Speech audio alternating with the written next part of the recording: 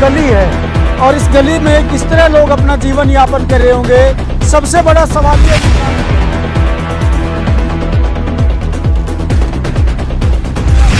ईश्वर से दिखाया माना मौका।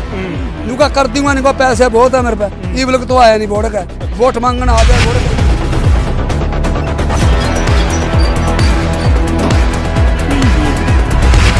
आंदा पानी का मारे तो ऐसे गंद का मारे अच्छा इतना बुरा हाल है। इतना बुरा हाल है। हम तो जी न्यू लिकड़ा में परेशान सारे परेशान है। उरा वोट लेने तो आ जाए सरपंच भी निम्बर भी कोई नहीं है गरीबा का। की सरकार में जो भाजपा से जुड़े हुए लोग हैं अब कहाँ छुपे बैठे हैं वो लोग? जरा इन लोगों की समस्या का भी समाधान तो कर दें क्योंकि बड़े बड़े दावे और वादे तो आप लोग करते हैं काम भी करके दिखा दें। नमस्कार, कैथल प्राइम टीवी देख रहे हैं आप और लगातार गाँव गरीब किसान मजदूर और उन तमाम बड़े मुद्दों को हम उठाते हैं जो आवाम से जुड़े हुए हैं।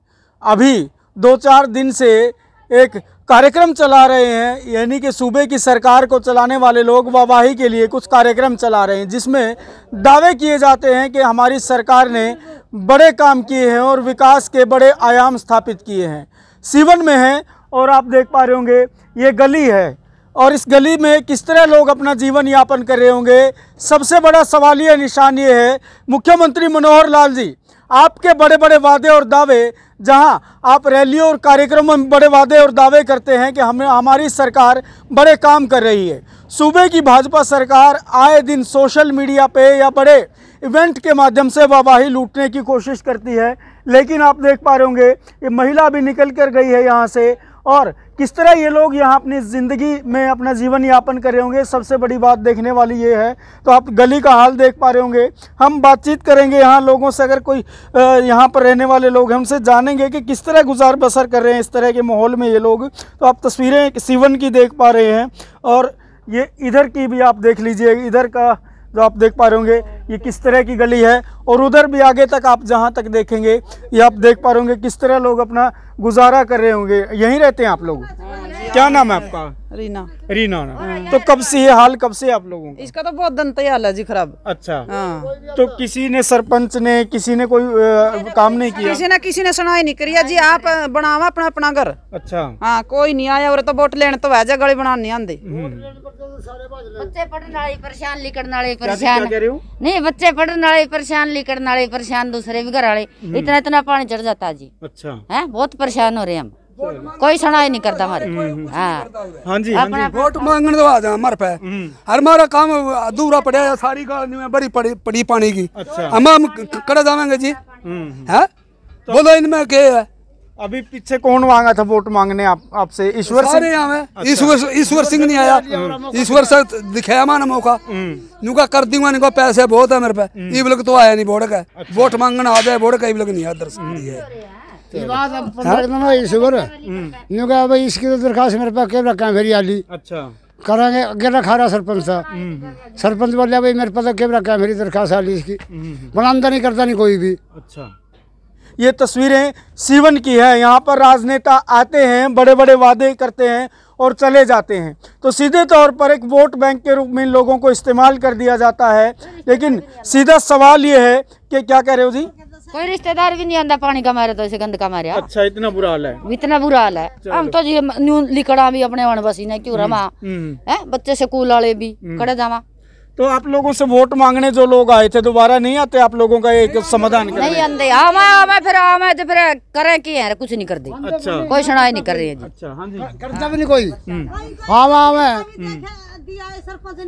हाँ चलो। इधर आ जाओ जी इधर आके बताओ क्या कह रहे हो। तो हम लोगों से जान रहे हैं क्या क्या जी क्या कह रहे हो कहीं कहीं बार सरपंच नहीं मराता लिख लिख का भी दे दिया भाई हम परेशान आ परेशान आ कोई समाधान नहीं होता कोई सुनाई नहीं करता अच्छा। कोई भी नहीं करता बच्चे भी परेशान हम भी परेशान है डांगर पशु भी परेशान सारे परेशान है उरा वोट लेने तो आ जाए सरपंच भी निम्बर भी कोई नहीं है गरीबा का समाधान करता तो ये जो मोहल्ला आपका क्या नाम बोलते हैं? कोई नाम है इसका मोहल्ले का आप लोगों के? गुमगढ़। गुमगढ़ मोला। अच्छा तो ये तस्वीरें आप देख पा रहे होंगे। किस तरह का जीवन ये लोग जी रहे हैं तो आप देख पा रहे होंगे। सीधे तौर पर हम कहेंगे कि जो लोग वोट मांगने आते हैं वो विकास के नाम पर वोट मांगते हैं और चले जाते हैं। लेकिन कागज़ों में ही विकास हो जाता है। धरातल की सच्चाई ये है। सीवन की तस्वीरें हम आपको दिखा रहे हैं कि किस तरह लोग अपना जीवन यापन कर रहे होंगे। इधर भी देख पा रहे होंगे। अगर अभी बरसात हो जाए, अभी तो मौसम साफ़ है। बरसात हो जाए तो किस तरह ये लोग अपना जी ज़िंदगी जिएँगे और किस तरह से यहाँ से लोग निकलेंगे तो आप तस्वीरें देख पा रहे होंगे। और कैथल के प्रशासनिक अधिकारियों से भी हम अपील करते हैं कि ये जो व्यवस्था है, उसको समझकर, इन लोगों की ज़िंदगी को समझ कर के कितनी जद्दोजहद है इन लोगों की ज़िंदगी में, इस पर काम किया जाना चाहिए। क्योंकि सरकार जो बड़े बड़े दावे और वादे करती है वो वादे और दावे इसलिए करती है कि हमने जो है पूरा विकास किया है, करोड़ों में बजट दिखा दिया जाता है, लेकिन वो बजट कहाँ लगता है? ये सीवन आप देख पा रहे होंगे किस तरह की व्यवस्था है, लेकिन आपको बता दें, यहाँ पर जो बड़े बड़े अपने आप की जो है राजनीति चमकार नहीं छोड़ते हैं, लेकिन लोगों के जो बात आती है, लोगों के जो मुद्दों की बात आती है तो वो हवा हवाई हो जाते हैं।